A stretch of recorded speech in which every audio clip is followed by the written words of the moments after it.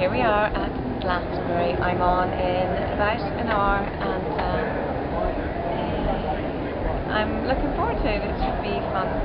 Good vibe on the acoustic stage and a lot of great acts from the um, London Community Gospel Choir just about to perform before me and uh, Tom Jones has just been on the main stage so um, all that